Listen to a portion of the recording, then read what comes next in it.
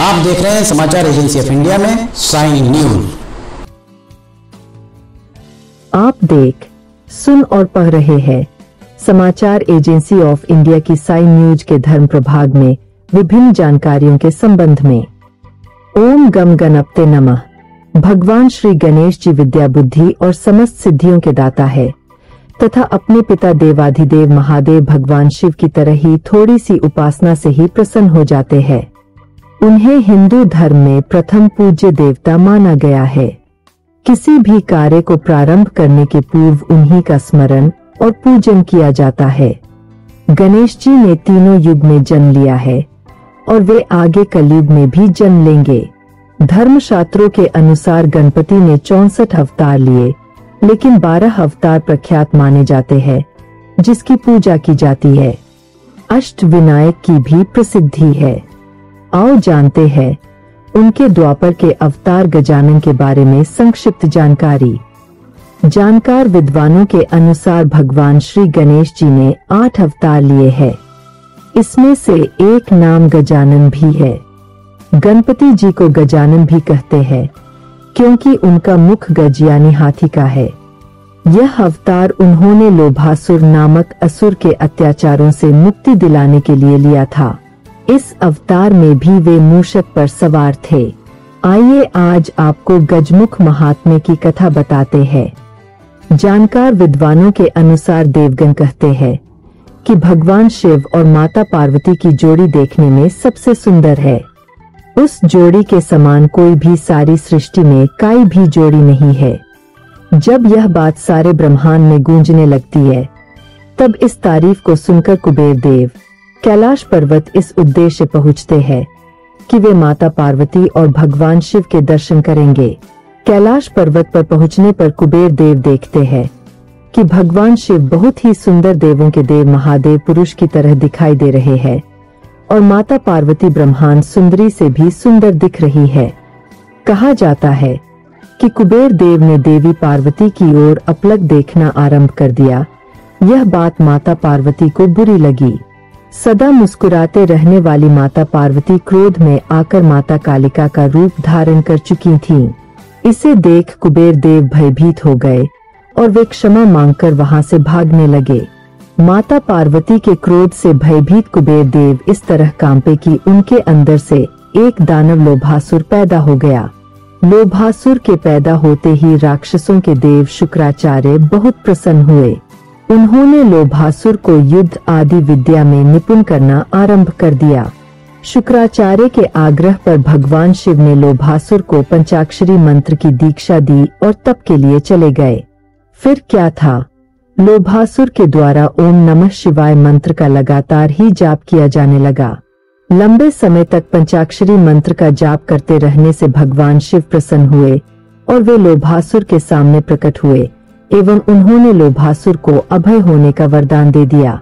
असुरों के गुरु शुक्राचार्य के द्वारा लोभासुर को इस तरह शिक्षित किया था कि लोभासुर ने समूची सृष्टि के समस्त असुरों को एकत्र किया और देवताओं के राजा इंद्र पर चढ़ाई आरंभ कर दी। इसके बाद लोभासुर ने इंद्र के आसन पर कब्जा जमाया, जिससे इंद्रलोक में हाहाकार मच गया। देवलोक पर विजय प्राप्त करने के बाद लोभासुर के मन में लोभ जागा और उसने तीनों लोगों को अपने कब्जे में लेना आरंभ कर दिया। इस समय भगवान शिव कैलाश पर्वत से दूर जंगल में साधनारत थे। लोभासुर के इस तांडव से सारे देवता बुरी तरह दुखी थे। जब सारे देवताओं ने देवाधिदेव महादेव भगवान शिव का आह्वान किया तब भगवान शिव ने उन्हें गजानन, गजमुख भगवान गणेश की आराधना कर उन्हें प्रसन्न करने की सलाह दी। देवताओं ने गणेश जी का ध्यान लगाया और देवताओं की आराधना से भगवान गणेश प्रसन्न हो गए और देवताओं के समक्ष प्रकट होकर उन्होंने देवताओं पर आए संकट को हरने का वचन दे दिया। इसके बाद विघ्नहर्ता भगवान श्री गणेश जी लोभासुर के सामने गजानन रूप में प्रकट हुए। भगवान श्री गणेश जी के इस विशाल स्वरूप को देखकर लोभासुर थर थर कांपने लगा और उसकी बोलती बंद हो गई। भगवान श्री गणेश जी के गजानन स्वरूप को देखकर लोभासुर रोने लगा और भगवान श्री गणेश जी की शरण में वह पशु बन गया। इसके बाद उसके द्वारा बंदी बनाए गए देवताओं और उनके सारे साम्राज्य को वापस कर दिया गया। अगर आप बुद्धि के दाता भगवान गणेश की आराधना करते हैं और अगर आप एक दंत भगवान गणेश के भक्त हैं तो कमेंट बॉक्स में जय गणेश देवा लिखना न भूलिए। जानकार विद्वानों के अनुसार इसी तरह की एक अन्य कथा के अनुसार एक बार नंदी महाराज से माता पार्वती की किसी आज्ञा के पालन में रियूटी हो गई, जिसके बाद माता ने सोचा कोई तो ऐसा हो जो केवल उनकी आज्ञा का पालन करे। तब माँ पार्वती ने अपने उपटन से एक बालक की आकृति बनाकर उसमें प्राण डाल दिए। इसके बाद माता पार्वती स्नान के लिए गईं और उन्होंने बालक को बाहर पहरा देने के लिए कहा। माता पार्वती ने बालक को आदेश दिया था कि उनकी इजाज़त के बिना किसी को अंदर नहीं आने दिया जाए। जब भगवान शिव के गण आए तो बालक ने उन्हें अंदर जाने से रोक दिया।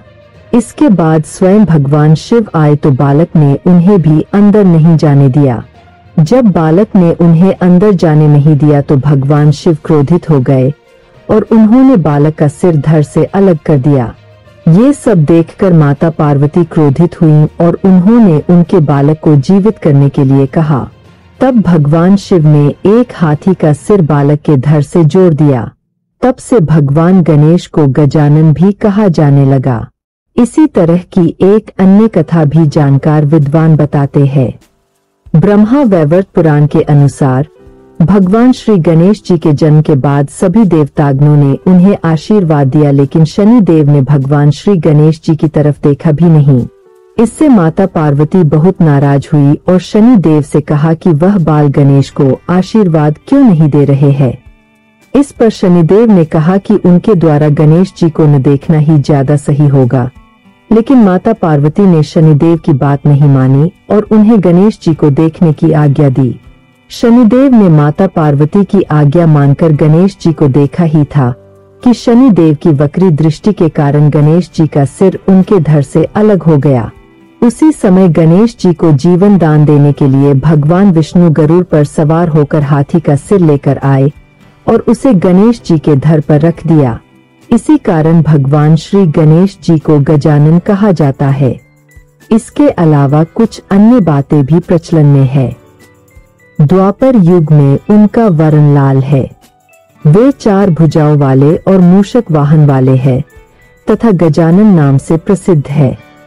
द्वापर युग में गणपति ने पुनः पार्वती के गर्भ से जन्म लिया व गणेश कहलाए।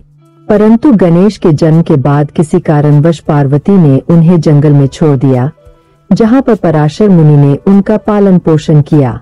ऐसा भी कहा जाता है कि वे महिष्मति वरेने वरेने के पुत्र थे। कुरूप होने के कारण उन्हें जंगल में छोड़ दिया गया था। इन्हीं गणेश जी ने ही ऋषि वेदव्यास के कहने पर महाभारत लिखी थी। इस अवतार में गणेश ने सिंदुरासुर का वध कर उसके द्वारा कैद किए अनेक राजाओं व वीरों को मुक्त कराया था। इसी अवतार में गणेश ने वरेने नामक अपने भक्त को गणेश गीता के रूप में शाश्वत तत्व ज्ञान का उपदेश दिया। अगर आप बुद्धि के दाता भगवान गणेश की आराधना करते हैं और अगर आप एक दंत भगवान गणेश के भक्त हैं, तो कमेंट बॉक्स में जय गणेश देवा लिखना न भूलिए। यहाँ बताए गए उपाय लाभ सलाह और कथन आदि सिर्फ़ मान्यता और जानकारियों पर आधारित है। यहाँ यह बताना ज़रूरी है कि किसी भी मान्यता या जानकारी की समाचार एजेंसी ऑफ़ इंडिया के द्वारा पुष्टि नहीं की जाती है। यहाँ दी गई जानकारी में निहित जानकारी विभिन्न माध्यमों, ज्योतिषियों, पंचांग, प्रवचनों, मान्यताओं धर्म ग्रंथों दंतकथाओं किंवदंतियों आदि से संग्रहित की गई है। आपसे अनुरोध है कि इस वीडियो या आलेख को अंतिम सत्य अथवा दावा माने एवं अपने विवेक का उपयोग करें। समाचार एजेंसी ऑफ़ इंडिया पूरी तरह से अंधविश्वास के खिलाफ है। किसी भी जानकारी या मान्यता को अमल में लाने से पहले संबंधित विशेषज्ञ से सलाह लें। अगर आपको समाचार एजेंसी ऑफ़ इंडिया में खबरें आदि पसंद आ रही हो तो आप इसे लाइक, शेयर व सब्सक्राइब अवश्य करें। हम नई जानकारी लेकर फिर हाजिर होंगे तब तक के लिए इजाज़त दीजिए। जय हिंद।